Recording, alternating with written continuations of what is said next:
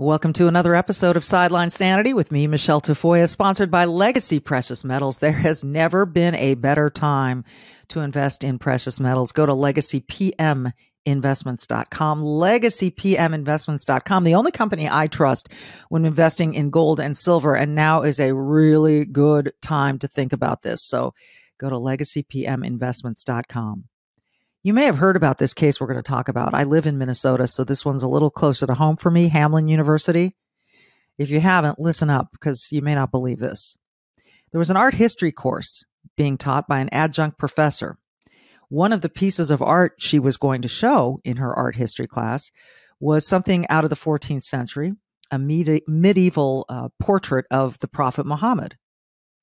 Well, you may or may not know that in Islam, some people, not all, Eh, some people, not all Muslims, feel that Muhammad should not be depicted in any way, shape, or form. Not in a drawing, not in a painting. She was aware of this, the professor, and she told her students in the class if you are going to be offended by this when I show it, it's an important piece of art, it's historic, you may leave the classroom while I show it. She took all the right precautions. Guess what? She was let go because a student of Muslim persuasion complained. Even given the right to walk out of the classroom and skip this part of the presentation, even given the warnings and the respect that this professor gave, Hamline University let the professor go. There's been a lot of uproar about this, but Hamline, the university, is not backing down. Well, there's an organization called FIRE, and you can find them at thefire.org. They fight for free expression, free speech on campuses and other places. It used to just be in uh, campuses, but now they're all over the place, and we are big supporters. One of their lawyers, Alex Morey, joins us next to discuss how they're approaching this case because they are active in it and why the hell this is happening. That's next. For nearly three decades, she's reported the action from the sidelines. She started very young. She's covered the NBA, NFL, Olympics, and the college football and basketball national championships. And now, during these insane times in our world, Michele Tafoya thinks we need a serious dose of sanity. This is Sideline Sanity with your host, one of the sanest people on planet Earth, Michele Tafoya.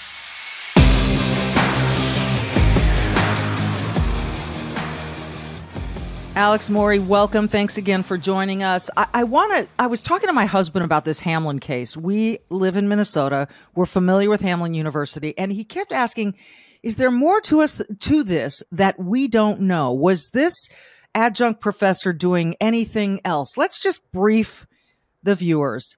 An adjunct professor teaching art showed an artistic, a medieval artistic depiction of Mohammed this was in what kind of class? What kind of context?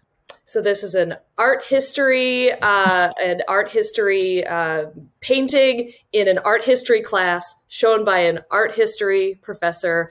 This is a depiction in a medieval text that has been shared pretty widely since the 14th century. And to answer your question really directly, no, there's not more to the story here. There's no catch every you know every media report on this story the professor's words herself which were reported in the new york times and even the university president who's responsible for letting her go has sort of said no the only thing she did was show this depiction of the prophet muhammad and it offended a student and so her contract has not been renewed. it, it offended a student. Are we talking a, one student complained so my understanding is that there was one student who complained. There were several Muslim students in the class, but one student said, this offends my version of Islam. And of course, in the days and weeks since this story broke, a number of Muslims, a number of Muslim groups have come out and said, you know, this is sort of an extremist version of um, what Islam says. Not all Muslims believe this. And so Hamline is really endorsing a very extremist view of Islam, even among even among Muslims, there is a question about whether or not this is this is really what they believe. Right. So some Muslims believe that the Prophet Muhammad should not be depicted in any form, drawing, painted, any form. My understanding is that this art history professor, and again, this this particular depiction of Muhammad is ancient. Um, she warned the class that this was coming, gave them warning that they were free to leave the room if they did not want to look at this part of the course. And yet, this student's complaint took so much weight. That's what's astonishing to me is that she, this particular student was offended, was hurt, was whatever, sensitive to this, got a, a woman's career in, in jeopardy and, and she was let go. So how did you all at thefire.org or fire come, be, become aware of this and what was your first step? Well, so at Fire, you know, for 20 years, we've been watching free speech, free expression stuff in the campus space. At public universities, we watch and see when uh, people violate the First Amendment. Public universities are arms of the government, they have to follow the First Amendment. At private schools, like Hamline, we're always looking at whether schools promise free expression and academic freedom. And then if they don't deliver, we get on their case about it. So that's the case at Hamline. So Hamline is one of those schools that is really into the diversity initiative type stuff. Fire doesn't take a position on whether or not diversity initiatives are good or bad. But what we see in this case is, you know, if you look at Hamline's website, it's all like, we care the most about diversity and whatever. Okay, yeah. that's great. But they also have this really firm promise in the middle of their mission statement that says, we care about free speech, we care about academic freedom. And so any professor, especially this professor in the art history class, would understand that they have sort of First Amendment adjacent type academic freedom and free speech rights. So, uh, what has happened here is that the president is saying, no, actually, academic freedom doesn't mean what what the what the standard is. Instead, it means this sort of like hybrid version of what I say it is, infused with diversity stuff. Now, look, yeah. again, we don't take a position on whether or not diversity is good or bad, but this is a great example of what happens when these types of initiatives are elevated above a college or university's core educational mission well and right. given the force of law. Let, let, let me i'm going to read this. This is Hamline university's statement of civility. Hamline university is dedicated to intellectual inquiry in its full depth breadth abundance and diversity. It is committed to academic freedom and celebrates free expression for everyone. The university embraces the examination of all ideas, some of which will be potentially unpopular and unsettling as an integral and robust component of intellectual inquiry. Inquiry, excuse me. It's expected that the expression of ideas will uh, done in ways that are respectful of others and which do not include personal vilification personal vilification based on race, ethnicity, religion, gender, sexual orientation, sexual identity, appearance, disability, or political uh, affiliation. It goes on. A university community embracing these common values consisting of students, faculty, staff, the board of trustees, and external constituents is vital to the pursuit of excellence in research, scholarship, and creative activity. So they promise this breadth and depth of intellectual curiosity but in this case, they said someone's sensitivity to this outweighs academic freedom. That's yeah, terrifying just, to me. Just in the last 24 hours, Hamline's president has tripled down. This is her second statement that she's released since the initial one where she said, you know, these sensitivities trump academic freedom. And she's saying, look, we love academic freedom. It's just that we also have this duty to make sure that students' feelings aren't hurt and that you know these you cannot guarantee that every student in your university is not going to be disturbed by something you, right you and can't many of my colleagues have pointed out you know uh, one of my colleagues said, you know, look at Galileo, you know, centuries ago, what he taught about, you know, the the sun not revolving around the earth would have been offensive. These are the kinds of things that in a university setting, it's the place where you debate the hottest topics of the day. And so, if that is the new standard, you cannot. I mean, every debate, every discussion on a university or college campus is becomes a fireable offense. That's an untenable standard. There's no question because you cannot. And secondly, this person, this student, complained. This adjunct professor doesn't get renewed. Uh, listen, when I was at, at school at the University of California, Berkeley, I could have compl- anywhere, any campus on God's green earth, I could find something to be sensitive about. I don't care the topic, whether it's math. Look, in, in Seattle, they find math racist.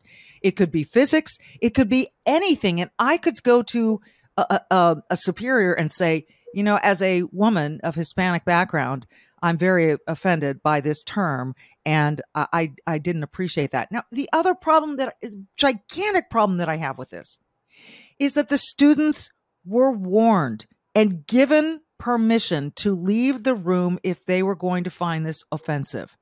She, this professor did everything she could possibly do to be sensitive to the students. I, I, I'm left like pulling my hair out that's why you know frequently again fire is a we're a nonpartisan organization we defend people all across the political and ideological spectrum and this is one of those rare cases where we don't have people on the left mad at us because we're defending a conservative view or people on the right defending us because we're defending you know woke leftists uh, this is the kind of case where we see people on both sides of the political spectrum coming together and going whoa this is so over the top. And if this kind of vision of academic freedom is starting to get implemented in the service of these sort of other kinds of diversity initiatives, then academic freedom means nothing. And of course, you've got to look at the faculty here. Who is in charge of what gets taught at a university right. who should be in charge of these things administrators who really have no i mean they're running the business end of things right. they're running the pr end of things they have no expertise in in this case art history and what kind of say should faculty have it it raises a lot of questions about shared governance. And when adjunct like we've got an adjunct here adjuncts across the country are living on salaries near or sometimes you know below the poverty line yeah. then you've got an administrator like uh, this professor this college president is making half a million dollars a year. Uh, it really raises the question about who's in charge of education who gets to decide where are the resources going.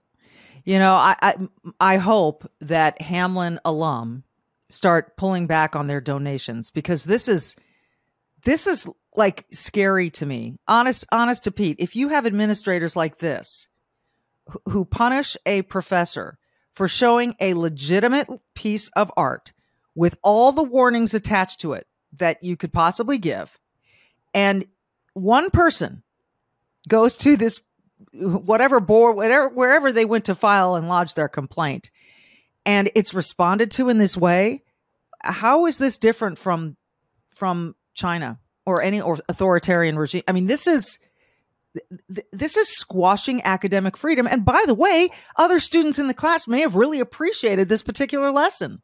What about their academic freedom?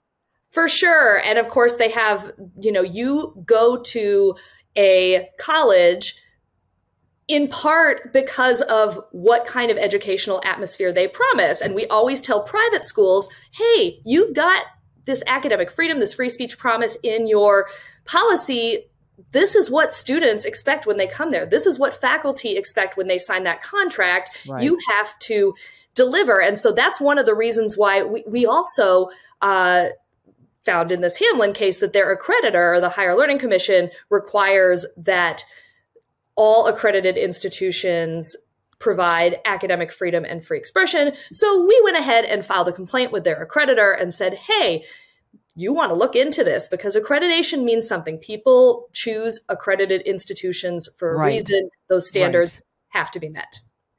And eh, what has the response been, or have you received one yet? So the-, the accreditor gives themselves 30 days to review the complaint. And so they're on the clock. So we are hopeful this is the same accreditor not all accreditors are created equal, but this accreditor has a track record of, you know, uh, getting down to business when they find out that their institutions are not meeting their academic freedom promises. Uh, in 2021, they put a Southwest Baptist University on probation, which the university is still on, I believe, because they were merely proposing to water down their academic freedom promises. So we've got, you know, a smoking gun in this case. There's no yes. proposal. This is actually happening. So we're very hopeful that if uh, Hamline won't listen to us, they won't listen to the public outcry, they will have to listen to their creditor. When we come back with Alex, uh, we will talk about why she thinks this university is, as you put it, tripling down, not just doubling down, now tripling down on their position in this case. Back right after this.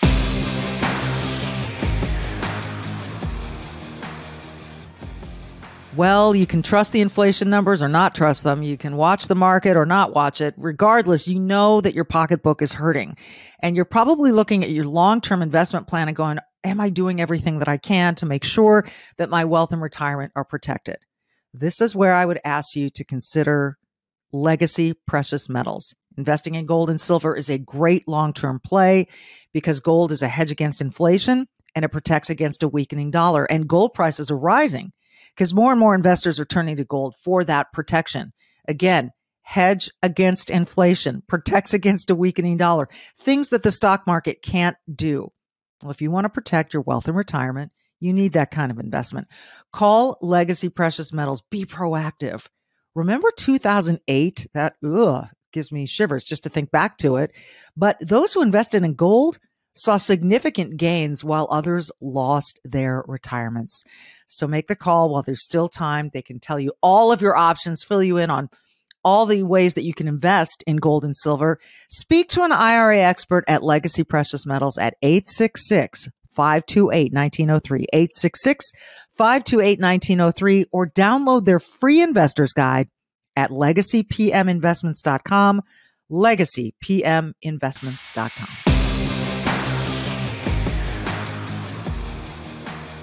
Back with Alex Morey of FIRE, thefire.org. Really cool organization. You should check it out. Check them out on Twitter, on Instagram. Fayneese Miller is the president of Hamline University. And as you so beautifully put it earlier, she tripled down on Hamline's decision about this professor not being renewed because of a student being, I guess the word is harmed. Um, what, well, what can, go ahead. That's a great, you know, that is the kind of semantic issue that we see at Fire a lot. So let's be clear. We, when universities and colleges encounter faculty or students who are engaging in genuinely discriminatory or harassing conduct, there are already laws and policies on the book on the books to penalize that sort of conduct. So if a professor is targeting a student because sure. of their religion, there's a, you know, that kind of behavior has to be severe, pervasive, unwelcome, discriminatory. The law spells it out.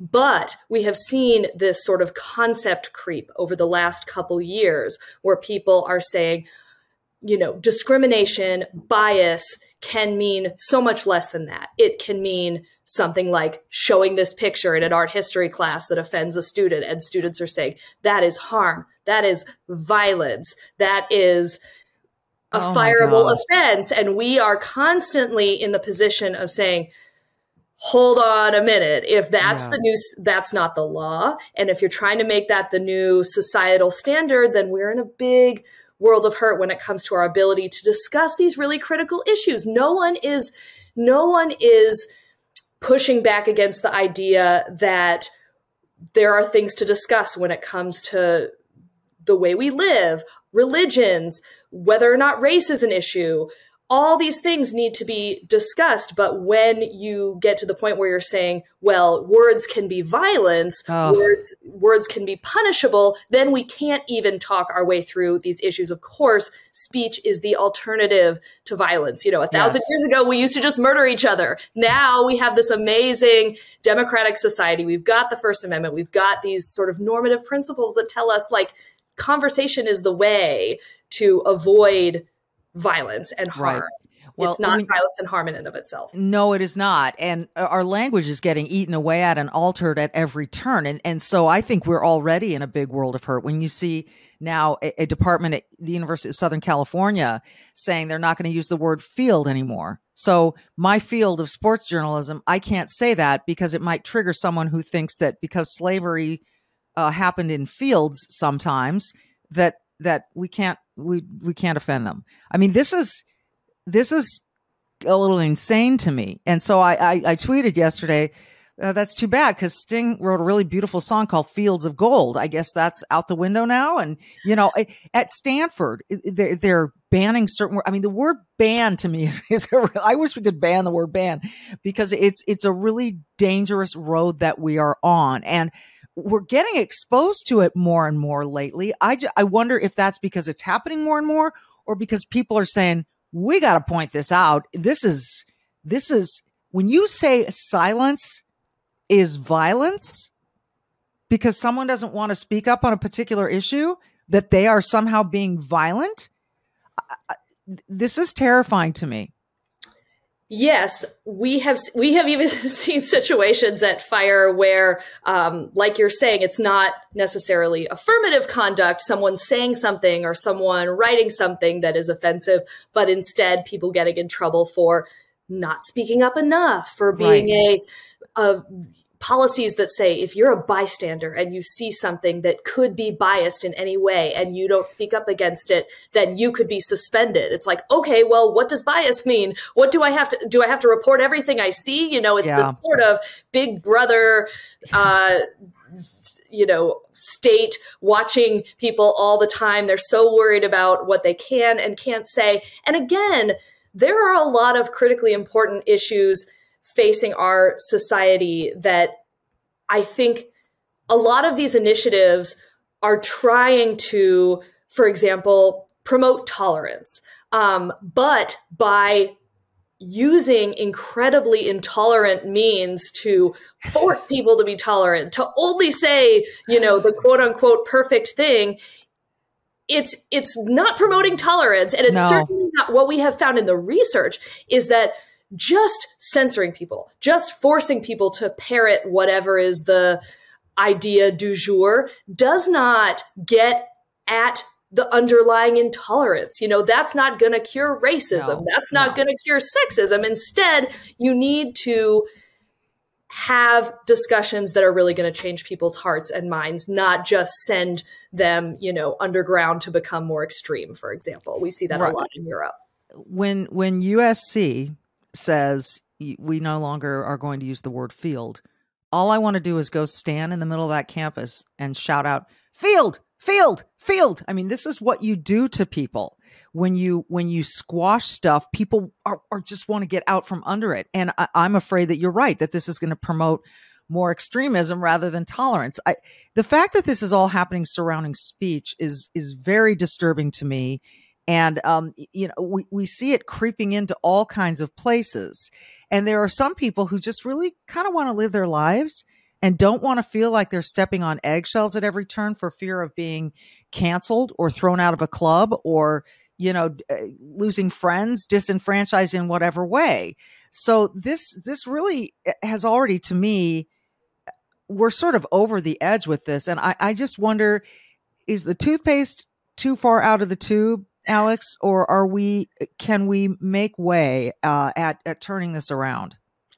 Well, I am hopeful that there are ways that we can uh, you know, continue our work and try to, like at Fire and the work you do in talking about these issues, try to point out to people that may, for example, want to censor speech they dislike, that those policies giving that control over to an institution or the government yeah. harms their own rights. Anytime you say, I want to make it illegal to, you know, do hate speech, or on the flip side, to teach critical race theory, for example. Anytime you, we see both sides of the political spectrum yeah. say you shouldn't be allowed to teach critical race theory, or we have to only teach critical race theory, the uh, people on the left, that kind of control uh, will ultimately allow whoever comes into power next to potentially censor you. So the example I love to give is, you know, people on the left say this is what is hate speech, the racism stuff, anti-trans stuff, etc. But then you have someone, you know, you have Ron DeSantis or you have Donald Trump referring to hate speech as anti-white type sentiments. So these sort of squishy terms like hate speech, when you try to ban them with the force of law, they yeah. always come back to to hurt you. So yeah. please don't well, try to make these terrible laws and don't don't make it the norm. Don't make censorship the norm because well they're, they're gonna these laws will be challenged ultimately i hope all the way to the supreme court which i would hope would say oh see the constitution we got free speech in there so no you can't do this the other harm that i see being done and this really bothers me as well alex is we are coddling people. For instance, this person that complained that the art professor displayed something that was offensive or hurtful or harmful to him or her is is then say, "Oh, okay, you know what? We'll just get rid of that teacher and you'll never have to look at that picture again." How is that setting that student up to be a resilient, strong, prepared for the real world student? And and we can talk about this at every level. We are telling students that they're unsafe because of words. They are words that if you don't, first of all, if you disagree with them or you don't want to be exposed to them, you can walk away. You can turn off the show. You can close the book.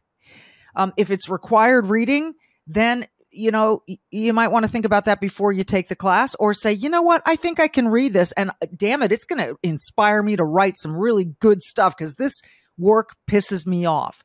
But instead, we're saying oh, we're protecting everyone from every bit of potential harm and bias with these bizarre definitions of what that is. And we're not teaching resiliency and intellectual strength. And that to me is harmful.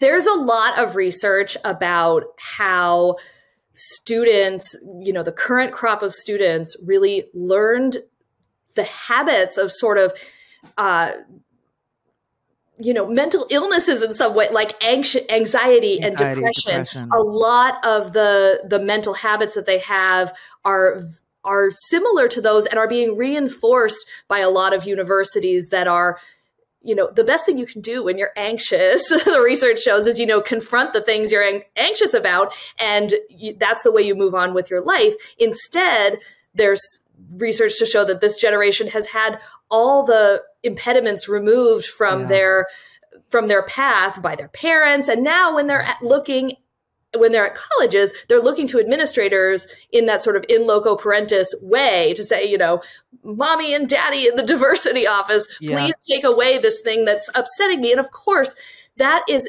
that is bad for them that's bad for their mental health of course they're going to feel um, upset and offended if their mentality is that every time something upsetting or offensive comes along, they can't handle it. So instead, right. what colleges and universities need to do is empower students, teach them the power of yes. exercising their own expressive rights, whether yes. it's, say, ignoring people or speaking out, trying to signal boost their own opinions, getting them into the marketplace of ideas to be tested, having tough conversations. You know, if you don't like a speaker that's showing up on your campus, don't shout them down or violently storm the the arena. Instead sit around and wait till the q&a and take them down with an incisive question or whatever. Yeah, you know that's and, and the way we do it. Right and don't just go to the q&a and then just call them all kinds of names because that right. you're really not making a point. I mean and you're not you, you're not furthering the discussion. If no. this if what this person is saying offends you that much it is far better for your own understanding of your point of view and also to further the conversation around this issue that you care about to have an actual discussion instead yeah, of just running away or shouting it down or yep. protesting or i mean let people speak if their ideas are that bad they will reveal themselves and sunshine is the best disinfectant to borrow an old phrase yep.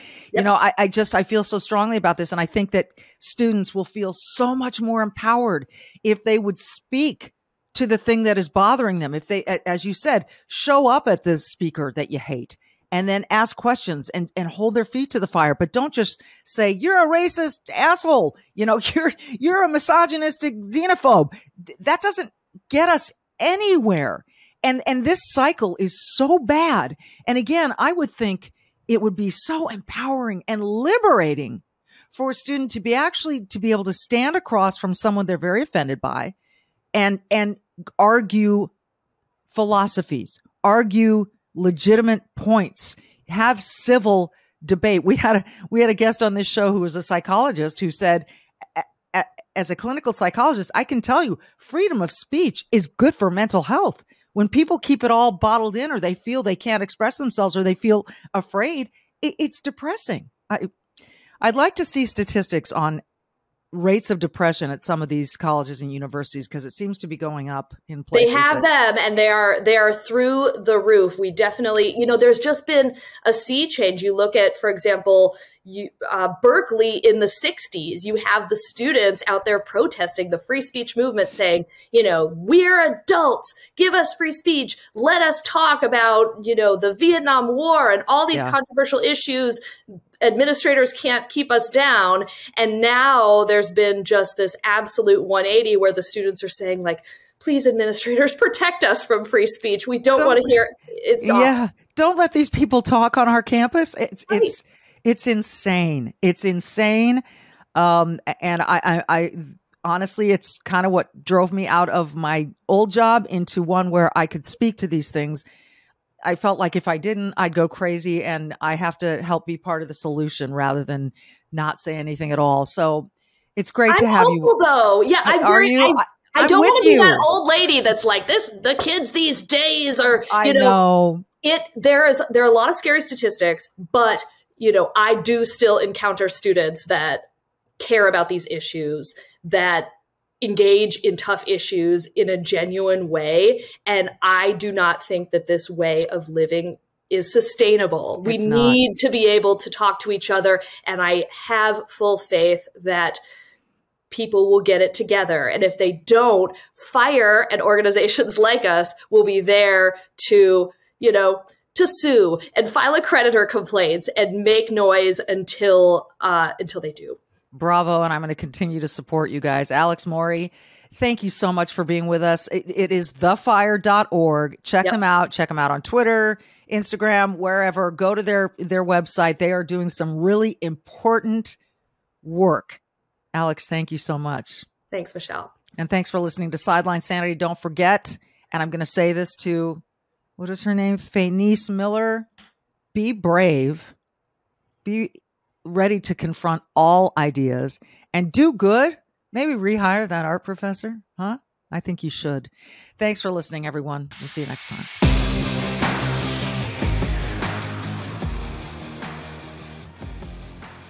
Always a good day when Charles Thorngren of Legacy Precious Metals can join us and answer some really different questions. And I thought of a few new ones for you, Charles, if that's okay. Yeah, I, I, I'm I'm fascinated, and we hear so much about gold and silver and and precious metals. So, if I could just ask this broad question: What is the role of gold mm. in a portfolio? Great question. And when we look at that, and the answer to that is has a couple different features to it. It depends on the individual, but its main purpose is the insurance policy for your finances. It is meant to be the foundation by which you do all other things. Right? We know that gold and silver um, have an inverse relationship to the dollar. Um, it protects your purchasing power. So when we invest, that's what we're saying. We want to make sure that we have the ability to manage our money and have our money do what we need it to do for us. It's not the collection of dollars for dollar's sake, but for what it does for us how we pay our bills, how we retire, how we feed our family, how we uh, go on and bless others and, and donate to causes we believe in. That's what money does for us. It's not the dollar itself, it's the thing it provides for us. And what gold does is make sure that that money continues to have purchasing value. Because there are times we find that, hey, my money doesn't have the same purchasing Absolutely. value it had last month. Absolutely. And this is a unique time. We're seeing it. I, I this term called hyperinflation, which usually refers to, you know, inflation in the 18s and 20 percent. I consider this a time of hyperinflation because it's so much more than what we're normally used to, right? When we prepare and we budget and we say, this is the course of my life and this is how I'm going to do things, this is where I'm going to put my money, we use some basic numbers. Two to 3% inflation, that's what the Fed says is good. But that's not even great. Over a lifetime, that's a lot of inflationary loss to your dollar. But when you have a period where it jumps to the points where we're at now, and we're in the eight and a halfs, nines, going to be into the double digits soon. In this shorter time frame, that's a hyperinflation situation to me because it throws everything off dynamically and so radical. You do, you do see us going into double digits, huh? Absolutely. Oh. The Fed even sees us going into double digits. You know, there was a, an interesting report where one of the, the Fed chairman were saying 2023, we're not going to talk about that. But in 2024, by summer, we may be able to start to drop the interest rates. When someone tells me they're in charge of something, but they say this new year that's coming, just forget about that completely. We're not even going to talk about that. That's a bad sign. they don't want you to think about it. Exactly. They don't. They want you to look past it and sort of ride it write out. it off right now. Just don't even think yeah. about it. It's going to be bad. But hey, 2024 though, you know, and interestingly enough, right around the time of an election, they want to start talking about what they're going to do. Isn't that fascinating? That timing is just really interesting. Before I we finish up here, I, am always fascinated with how gold is priced. Mm. How how do we get a price of gold?